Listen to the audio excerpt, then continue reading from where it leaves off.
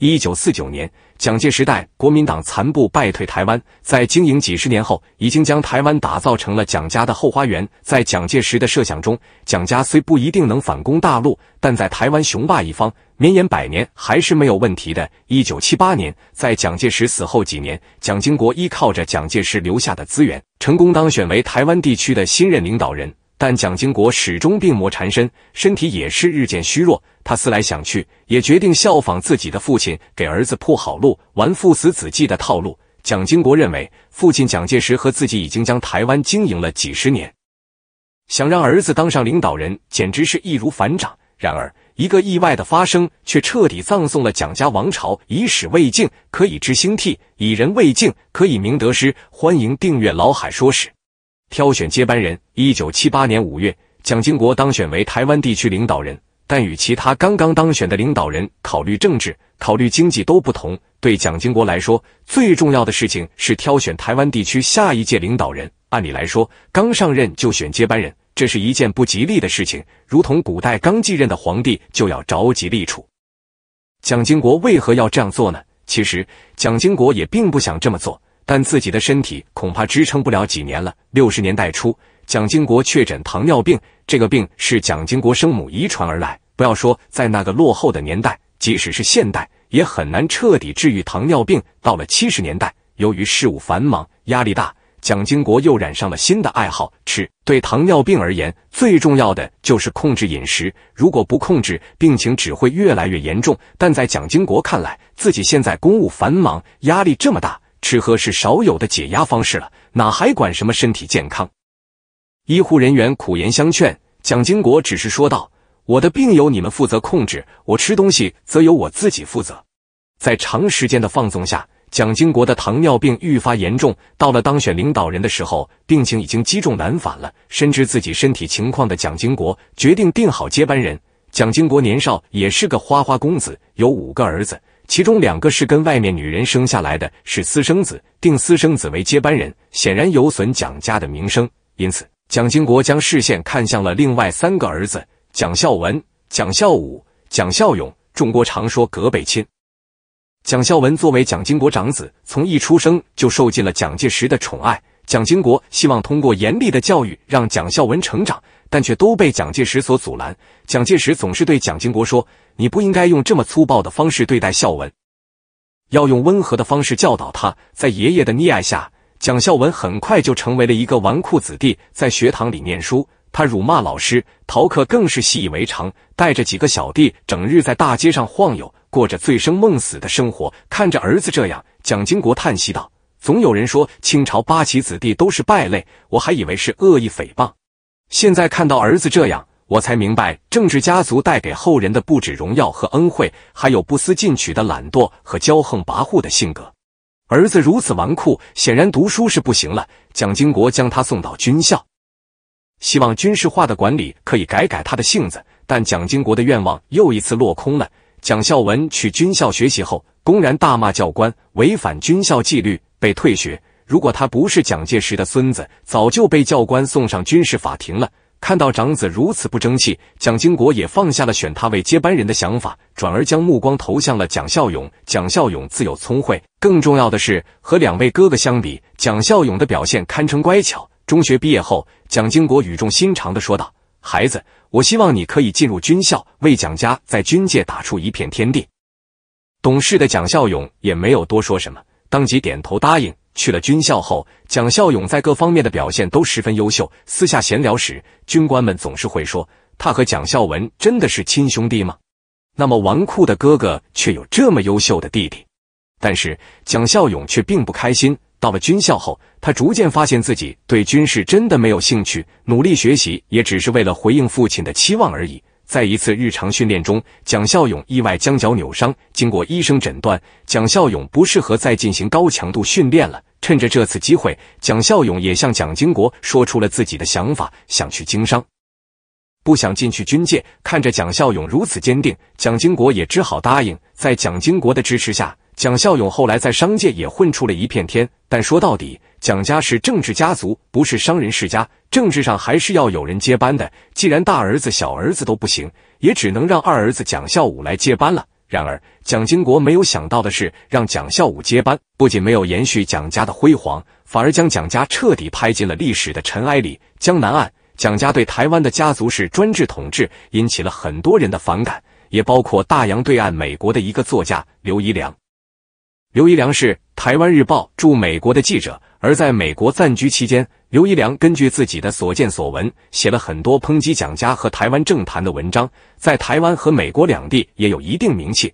然而，一九八四年十月十五日，一条新闻却占据了台湾报纸的头版。今日凌晨，刘一良在清晨上班的途中被人枪杀在私家车中，身中三枪，当场毙命。顿时，民间一片哗然。如果说这件事在民间只是一时的热点，那么在政坛高层的人眼中却是惊天大事。因为刘宜良的身份并非记者这么简单，而美国的心思也没有那么单纯。刘宜良原本出生于大陆，十七岁时国民党军队败退台湾，刘宜良觉得以自己的才能必然得到国民党重用，也就跟着去了台湾。果然，到了台湾之后，在国民党邀请下，刘宜良前往政治学校学习。毕业后，在国民党情报部门工作。一九六七年，国民党情报部门决定对美国进行渗透，经验丰富、对国民党忠诚的刘一良伪装成记者，被派往美国旧金山。明面上是记者，暗地里却一直在收集美国的机密情报，常在河边走，哪能不湿鞋？在一次情报交接中，刘一良和线人被 FBI 抓获，落到 FBI 手里，结局往往是受尽折磨致死。但出乎意料的是，FBI 没有第一时间拷打刘一良。反而对他说：“你是否愿意当我们的线人，为我们提供台湾的情报？台湾情报部门能给的待遇，我们只多不少。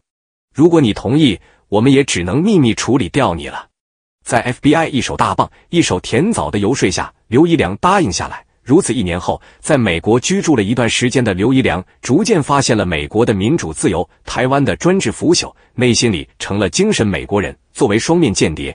他同时可以接触到台湾和美国的机密情报。根据这些情报，他以江南为笔名，写了一本《蒋经国传》和一些评议台湾时局的文章。其实，在文章中虽然有很多对蒋家、台湾政坛的抨击，但也不乏对蒋经国的夸赞。然而，在蒋经国看来，在自己给蒋孝武铺路的关键时刻，刘一良发这样的文章，会大大折损蒋家和国民党的声誉。这就是故意要跟自己作对。蒋经国派人找到刘一良，对他说：“民众往往只能看到政坛坏的一面，你写的《蒋经国传》一旦出版，只会造成台湾政坛的混乱。”刘一良反问道：“所以你们找到我想做什么？”